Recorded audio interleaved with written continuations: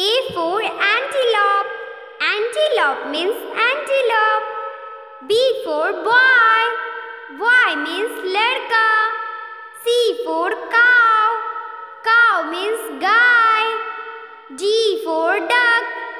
Duck means battak. E for eagle. Eagle means baj. F for fan. Fan means pankha. G for girl. Girl means ladki. H for house. House means ghar. I for ice cream. Ice cream means malai barf. J for jug. Jug means jug. K for kite. Kite means patang. L for lemon. Lemon means nimbu. M for melon. Melon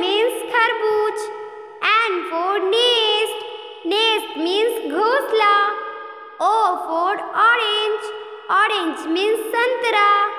P for pear. Pear means naspati. Q for queen. Queen means rani. R for rose. Rose means gulab. S for sun. Sun means suraj. T for top. Top means laddu. U for umbrella. Umbrella means chata. V for vulture.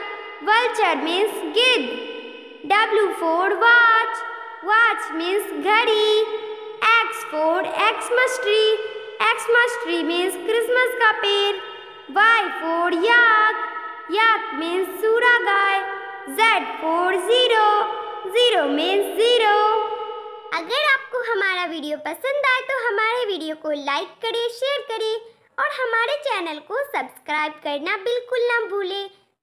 के लिए bye bye